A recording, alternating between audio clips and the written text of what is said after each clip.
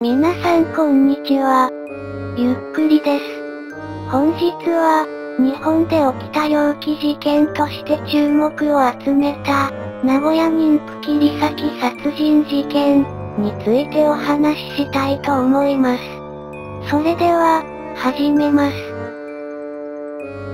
1988年3月18日、午後6時50分頃、名古屋市中川区富田町の、会社員 Y さん当時31歳は、仕事を終えると、会社から自宅に電話をかけました。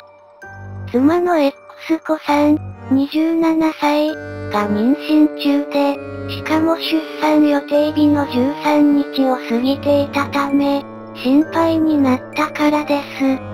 ところが何度ベルを鳴らしても妻は出ませんでした。この日の午後1時10分頃にも、一度電話を入れていますが、この時は元気に出ていました。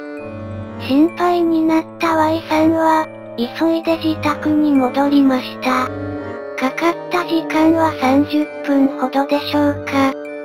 午後7時40分頃、新興住宅地にあるマンション2階の自宅に帰宅すると、不審な点がありました。いつもは施錠してある玄関のドアが、なぜか開いていたのです。部屋の中は真っ暗で、妻の姿は見えません。着替えをしていると、子供の泣き声がします。気のせいか、と思いつつ、Y さんが今に入ると、青いマタニティドレスを着て、ピンク色のジャンパーを羽織った X 子さんが、仰向けで倒れていました。その足の間で、生まれたばかりの赤ん坊が泣いていたのです。当初、Y さんは妻が自力で出産したのかと錯覚しましたが、すぐに妻が両手を後ろ手に縛られており、首にはこたつのコードが巻かれ、あたりには血だまりができているのに気づきました。X 子さんの意識はすでになく、呼吸もしていません。Y さんは慌てて、119番通報しようとしましたが、電話がいつもある場所から消えていました。電話はなく、コードが引きちぎられていました。仕方なく、開花の部屋に電話を借りて通報しました。部屋に戻った Y さんは、赤ん坊の体を拭いていましたが、妻の腹部に異変があるのに気づきました。やけにゴツゴツしていたのです。よく見ると、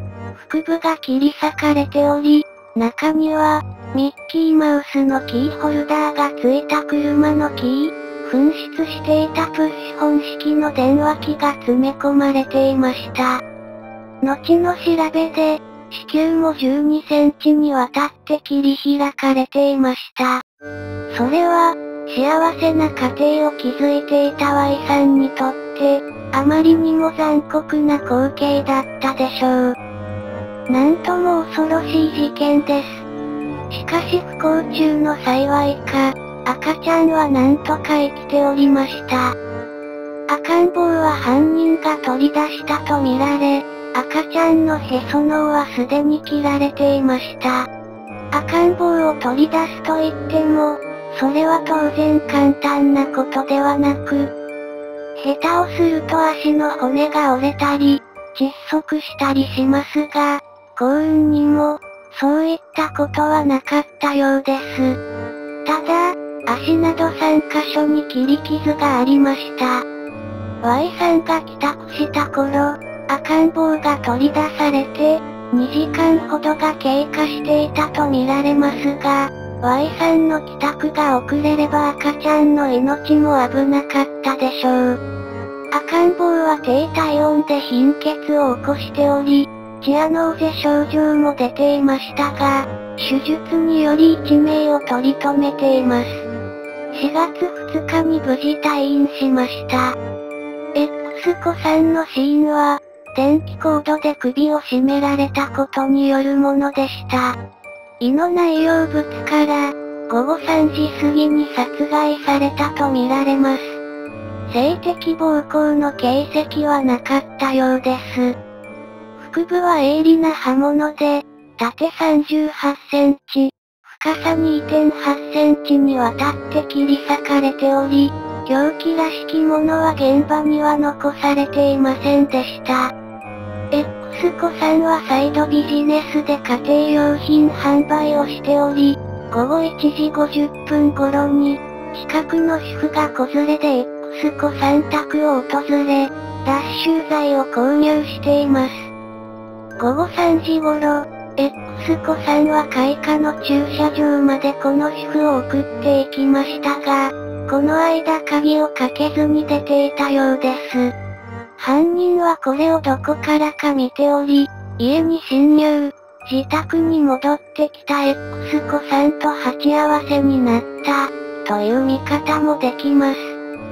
訪問した主婦は手土産にイチゴを持ってきており、一緒に食べましたが、発見された時はその食器がこたつの上に置かれたままだったとのことです。ということは、食器を片付ける間もなく襲われたのではないでしょうか。また、主婦の脱臭剤支払い代金として、X 子さんは2000円ほどを受け取っていましたが、そのお金を入れた財布は消えていました。しかし、それ以外の金目のものは、不思議と手をつけられていなかったようです。疑いの目は、まず第一発見者である Y さんに向けられました。臨月の X 子さんがいないというのにスーツを着替えていたことや、記者会見で、家内はワインが好きだったから、ワインを注がせてください、と言って、グラスに赤ワインを注ぎ、霊前に備えていたからでした。報道陣はこれを芝居がかったパフォーマンスと受け取りました。しかし Y さんは殺害が行われていた頃は、会社でデスクワークをしていたため、当然疑いもすぐ消えました。残酷な犯行のため、命の尊さを知らない少年の犯行ではないかとも見られましたが、犯人は Y さん宅に土足で上がり込んでおり、靴跡は子供の大きさではなかったということです。高校生などの場合はほぼ大人と同じですが、犯人は医療関係者、という話もあります。臨月の妊婦の腹を切り裂くなどというのは、到底素人のできることではありません。産婦人科医でなければ無理だというのです。被害者を考察した犯人は、15分以内に被害者の腹部を切り開き、胎児を取り出し、へその緒を切ったのです。ためらい傷などはなく、手慣れていたということです。なかなか絞り込めない犯人ですが、有力な目撃情報が得られます。開花に住む主婦によると、当日の午後3時10分から20分頃の間に、自宅玄関のドアノブを何者かにガチャガチャ回される音がしたと言います。そしてチャイムを鳴らされたため、出てみると、30前後くらいの、サラリーマン風の小柄な男がおり、中村さんのところを知りませんか？と聞いてきたと言います。主婦は気味が悪いので、すぐに知りません、と言ってドアを閉めました。この男は現場付近で何人かの人に目撃されています。近鉄戸田駅方面からアパートやマンションを一軒一軒伺うようにして歩いていたそうです。警察はこの男の行方を追いましたが、足取りはつかめていません。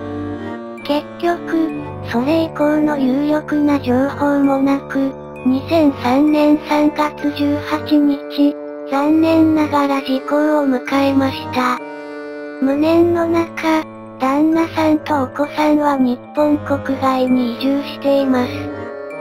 日本国内で起きた猟奇事件。